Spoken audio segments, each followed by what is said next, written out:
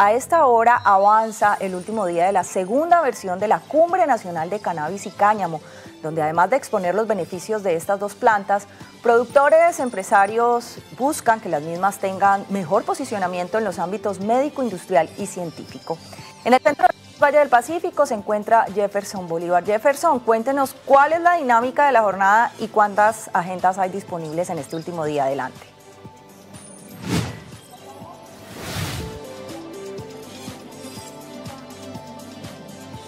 Judy, televidentes, muy buenas tardes. Pues mire, la agenda y la dinámica está basado en cinco ejes.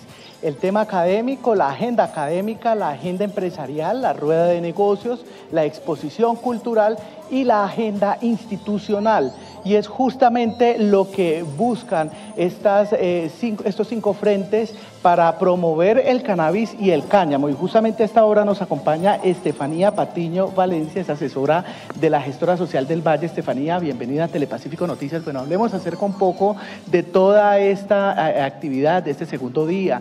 ¿Cómo están posicionando eh, justamente el cannabis y el cáñamo para que haya una mejor voluntad?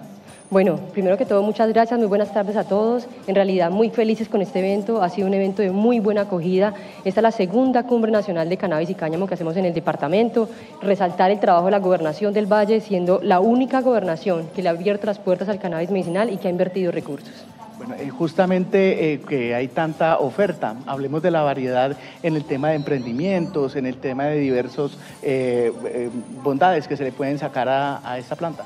Bueno, en realidad, eh, como tú lo decías, hay una agenda académica muy nutrida con charlas magistrales donde hablamos de los beneficios que tiene el cannabis medicinal. Hemos pasado por tema veterinario, por un tema odontológico, por un tema industrial de cáñamo. Justamente estoy vestida con una prenda de cáñamo. Entonces, en realidad, a través de la pedagogía queremos incentivar que se quite el estigma alrededor de la planta de cannabis. Muchísimas gracias, Estefanía, por estar con nosotros. Y nosotros David Jiménez, él es gerente de Hempcraft Colombia. David, bienvenido a Telepacífico Noticias y ustedes fueron la primera compañía en crear una casa a base de cáñamo. ¿Cómo fue eso? Sí, correcto. Eh, creamos, diseñamos y construimos la primera casa de cáñamo en Colombia.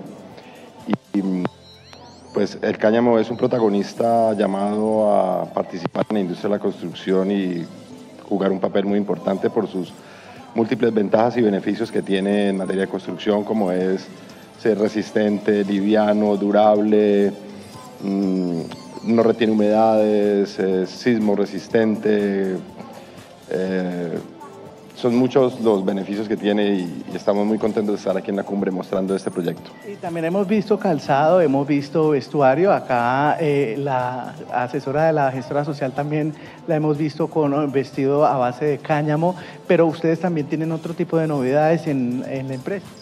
Básicamente lo que nosotros ofrecemos es una alternativa sustentable, ecológica en materia de construcción y es eh, realizar eh, modelos prefabricados de casas con cáñamo para, como le decía en un principio, tener una posibilidad muchísimo mejor a la alternativa que nos brindan tradicionalmente como el cemento, el ladrillo y, la arena y, y la varilla.